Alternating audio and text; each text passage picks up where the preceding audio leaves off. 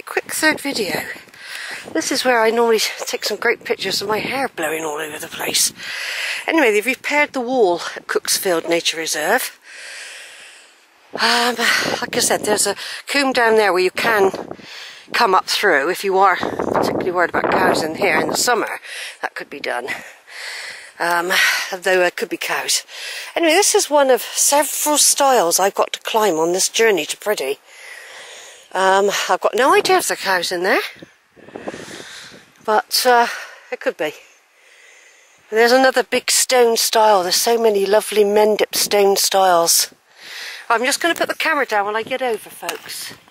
Because it's slippery. One and two and three. That's it. I'm glad they put a bit of grip on there. They put a bit of wiring so that your feet don't slip. That's very thoughtful. I've already met a vicar and uh, someone from the village properly. I've already met about five people altogether. Now sometimes if I'm coming from Ebbor Gorge, which is over there, over that hill, I've sometimes come up and I'm coming from Wells, I would come this way on the way to Cheddar because that's one of the walks I do when there aren't any cows. Um, I like to do it when it's sunny, that one. It's a, it's a big day's walk. And I haven't done that for, well, I'd say a good three years. Could be longer. Um, one of the times I did this walk, it was very, very misty. And when I got to near Draycott, the mist came down really thick and I got lost and I did a brilliant video. I actually videoed me being lost in the mist. And it's weird you do get disorientated because all the walls start looking the same. When you're in the mist, you approach a wall, it could be the wall you think you know, but it ain't.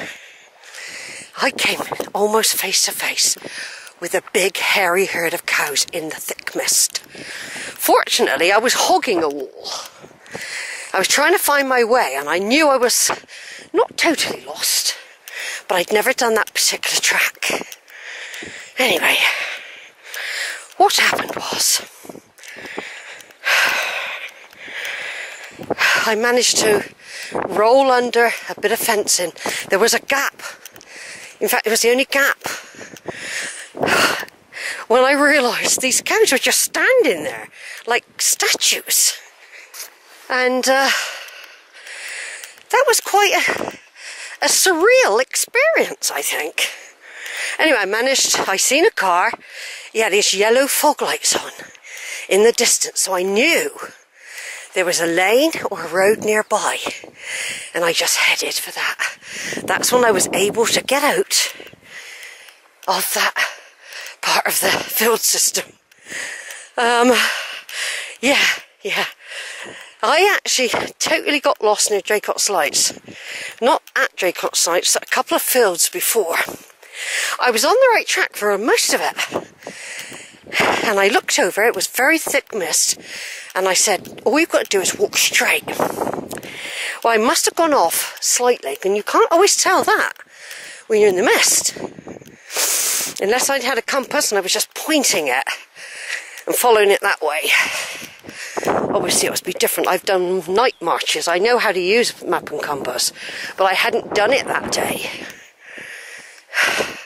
Oh, I can see it's a blue sky trying to come out. Yep, hip, hip, hooray, everyone!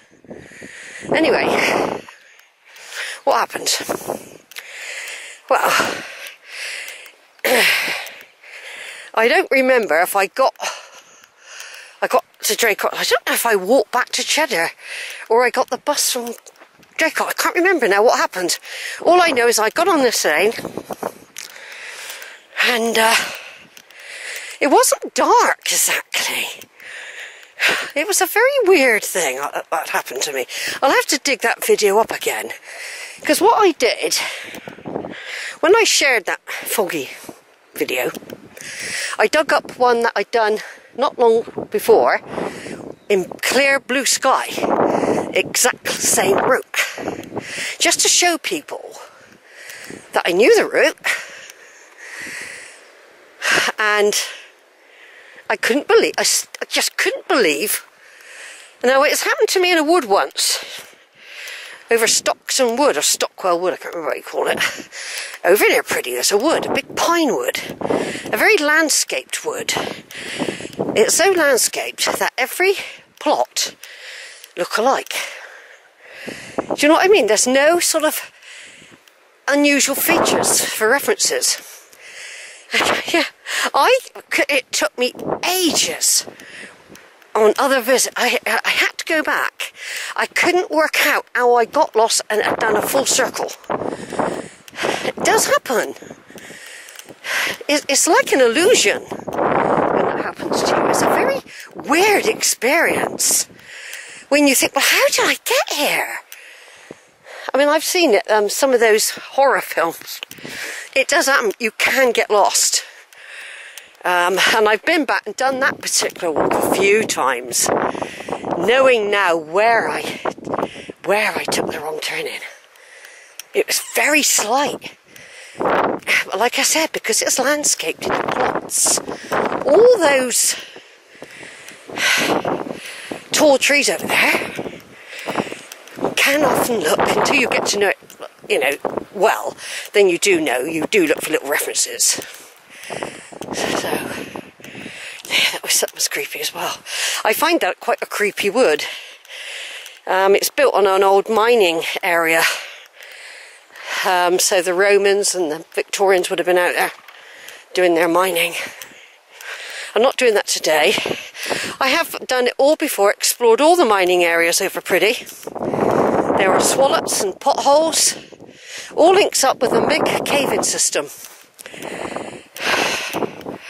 Yeah, there was a over where I'm going now. Priddy. I'm. I should probably pass a possible pass a tr tree where there's a pothole, and where not that many years ago, a young man who was an, apparently an experienced potholer got lost underground. I got a feeling they never found him. So it was interesting as well Oh, something to. We'll see Priddy Barrows in a minute. And we've got a number of stiles to cross. Number of stiles. Now, it, like I said, it's a couple of years since I've been here. Things do change. Things do change. So far, no cows. Nah, stile. Right, I'm going to turn off and take some pictures, folks just stand up here. have a look round. Yeah, before now I've walked across that way and gone back towards Cheddar that way, um, avoiding cows. And there's lots of history, loads of history over there, which I've got to explore again on another day, on a friendlier day. This is still friendly. You can have much worse days than this. I can see blue sky coming and lots of grey. Over and out. Right then folks, another quick video. There's a stile there. There it is, look across the field. There's two stiles there. Um, if you're going to Priddy, you'd probably go through that one. If you want to, if you're on the way to Cheddar, you go in that one. But in that one's normally massive herd and very muddy fields. There are cows that way, but a usually electric fence separates you from them. So, obviously it's winter now, there's no corn growing or... Because I do sometimes do this walk before the season of the cow. Before the cows come out, I will also do this walk. Um, now today I really want to do the first stile because I'm going to Priddy Village. And We're doing very well. Very well. I've just come across that field. Time's deceiving though because you think you're doing well and before you know it it's half past two. That's what I find. And you think, bloody hell, I've got to get the bus.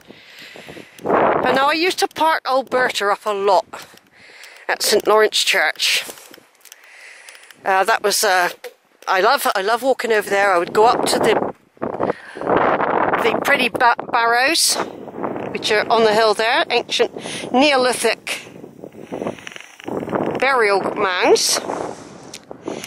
I've uh, walked all amongst those in the past. I had to escape cows there once. Um, the the forest, the wood I was telling you, Stockton or Stockland, whatever it's called, that's over there, over there. That'll come into view in a minute as well. Now this does look like an ancient track, doesn't it? I don't think I came over here at all. In fact, I know I didn't. In 2019, I never come over here at all because it was COVID. Now this looks a well-worn track. I think during the COVID period, it's left its mark where lots of people were home. The children weren't at school. People were coming out for their air. And I think this is a, mark, not a scar, but it's, it's left a mark on the landscape of COVID where people were walking, encouraged to come out, breathe in the fresh air. Because I've never seen it. It used to be very narrow. Um, so basically, the farmers have allowed it. I think it's a right of way as well, but it's always been sometimes very tiny. You can only can just see it. And this would have been a tall field full of some crop in here. Um, they're so busy farmers, aren't they? Busy bees. So where we're coming up to now there could be cows in both fields. Um, so I've got to see what I'm going to do in a minute. Okay? Got to see what I got to do in a minute. We'll have a look over that stile. I'm not. I want to go over this one. We just have a look over there. Oh, I don't really need to, but it is. I'll just have a look because there's any signs or anything. Like I said, another one of my walks, I would have been over on that hill there and heading over that way. Heading over there near those copse. And I can actually, I'm glad I not chose to go that way today. I can see loads of cows. Absolutely mad, loads of them. I'm glad I'm not doing that route. It's still season of the cow. Man, loads and loads of cows. See, with my uh, timing today, I've got to be prepared for diversions. Yeah, I can just see loads and loads of cows over there. If I just zoom in, zoom in through those trees and you'll see cows. Look. Big herds of cows. Look at those over there. And there. Those cows there are in the field that can come in, in here. Right, now what I want to do, because that was, a, that was a really nice picture then, I'm going to stop here for a minute and take a picture of that scene, because it was, really, it was quite nice, like that. Over now.